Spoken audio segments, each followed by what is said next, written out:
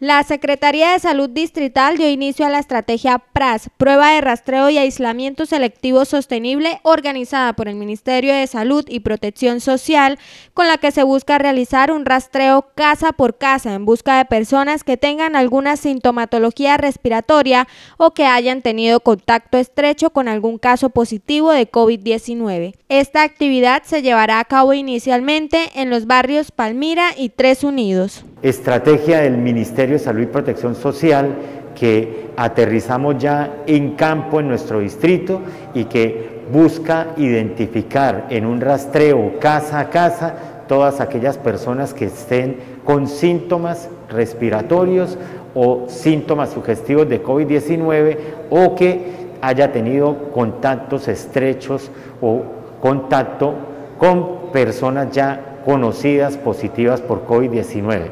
En este rastreo se incluirá también la prueba de tipo PCR por hisopado nasal para aquellas personas que puede que no tengan ninguna sintomatología, pero que tenga factores de riesgo para hacer eventos graves por COVID-19. Un equipo epidemiológico plenamente identificado es el que estará casa por casa realizando la prueba PCR a personas que tengan alguna enfermedad de base como diabetes, hipertensión, cáncer o que sufra de obesidad. Estos casos son más vulnerables frente a este virus.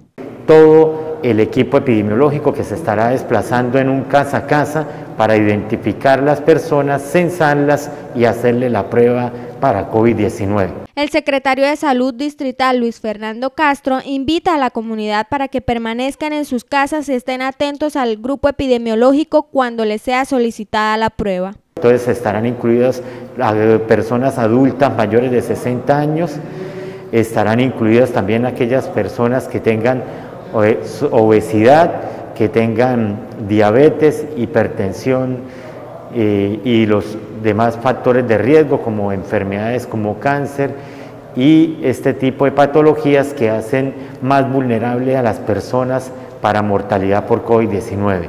Por eso la comunidad de Palmira y Barrio Tres Unidos mañana estar disponibles en sus hogares. Un equipo de perifoneo será el encargado de pasar por los sectores seleccionados para informar a la comunidad previo a la actividad.